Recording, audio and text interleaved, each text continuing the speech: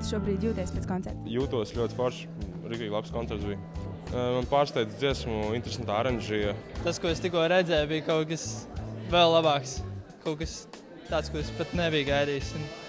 Ļoti patīkams. Pirmo reizi dzirdēju Gustavu izpildumu šādā repertuārā ar kopā ar instrumentālo pavadījumu. Ļoti patīk. Kas man pārsteidz, ka viņš varēja savienot instrumentālo kopā ar savu teiksim, izpildījumu tieši.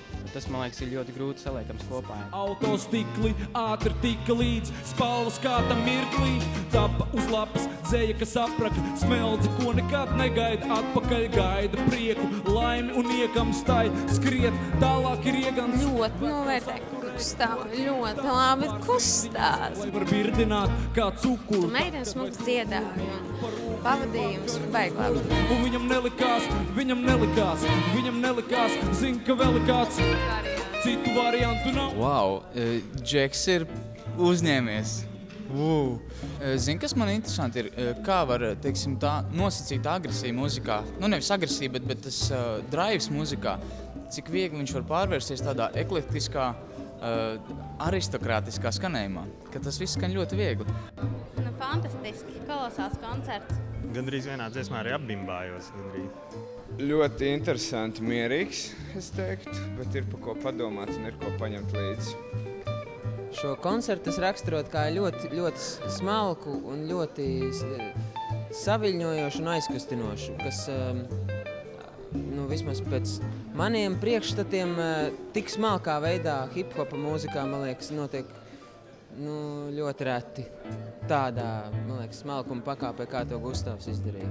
Viss, viss tik mierīgs, tur nebija tāds brīdis, kur kaut kas gaida, gaida, gaida, gaida kaut kādu uzliesmojumu. Bet tad arī es sapratu, ka tas bija viņa mērķis, lai viss tā atpūšās un reāli padomā par to dziesmu un padomā, ko viņš tur stāsta. Mums likās, ka nevajadzēja sēdēt.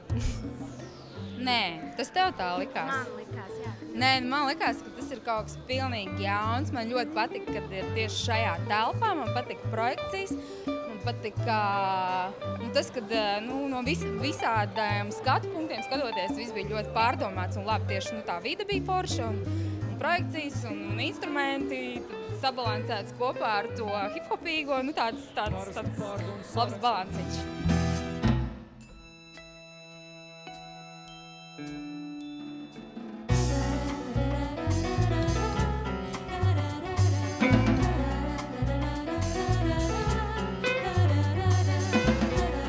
Stāvā varētu būt tādas jaunas šīs paudzes, kā Raimons Pauls, kā mūzikāls tēls, ne, bet nu, kā simbols Latvijas mūzikā. Nu, godīgi sakot, viss bija pārsteigums, jo es neko nezinu par Gustavo, es nekad neesmu bijis uz viņa koncertiem, man nav neviens albums nulle, kā nulle atnāca apsēdos, un uh, man viss bija pārsteigums, man viss patika, man patika izpildījums, man patika kostīmi, man patika gaismas un projekcijas, un uh, es īstenībā draudzenei teicu, ka tas ir vispār kaut kāds pēdējā laika labākais koncerts, uz ko es esmu bijusi, Un uh, es nezinu, man ir tā, ka man liekas, ah, ka es esmu iemīlējusies tajā, ko es redzēju šogad. Tas bija ļoti labi.